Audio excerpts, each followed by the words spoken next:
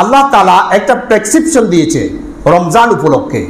এখন প্রেসক্রিপশনের মধ্যে দুইটা ওষুধ দিল। একটা হচ্ছে রমজান আর হচ্ছে কোরআন।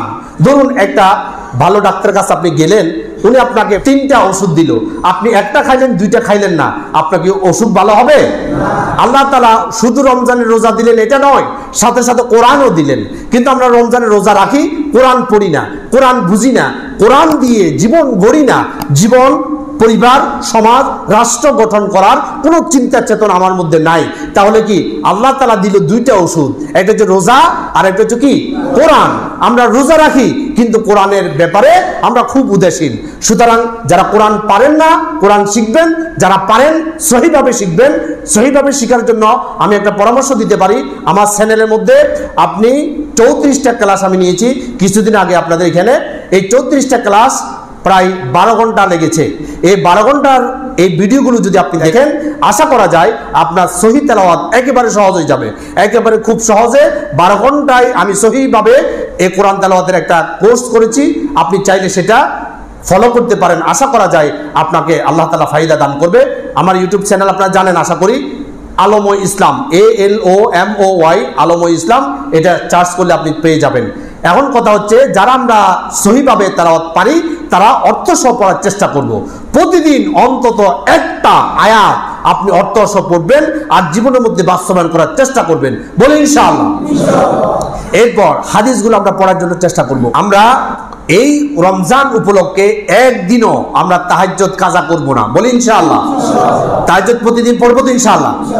আর প্রতি ওয়াক্ত নামাজ আমরা জামাতের সাথে আদায় করব।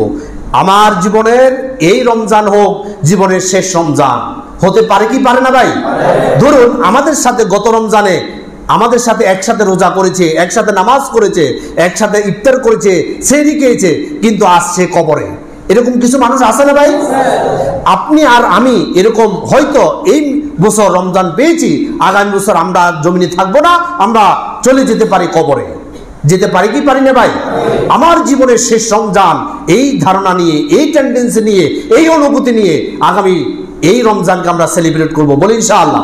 এবং আপনার যত ব্যস্ততা আছে, সব ব্যস্ততাই কয়েকদিনের মধ্যে শেষ করে দিন। রমজানের ভিতরে কোনো ব্যস্ততা রাখবেন না। বিশেষ করে আপনার স্ত্রী, আপনার মেয়ে যারা উপযুক্ত, তাদের কাউকে মার্কেটে পাঠাবেন না।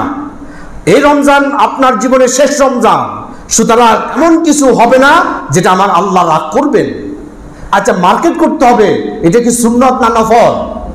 নফলও না। এটা বরঞ্চ একেবারে এখন যে অবস্থা মার্কেটিং অবস্থা বা বেপর্দা নারীর যে শৈলা এই মুহূর্তে এটা না করা, এটাই হচ্ছে সুন্না মা বোনদেরকে পর্দায় রাখেন, এতেকাফ করার জন্য নিয়োগ করেন, এতেকাফ করব তো ইনশাল্লাহ আমরা।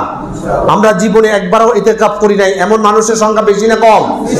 আপনার জীবনের শেষ রমজান যদি আপনি অনুভূতি জাগ্রত করেন, আশা করা যায় আপনার জীবন থেকে এই রমজানে এতেকাফ ছুটবে না। বলে ইনশাআল্লাহ।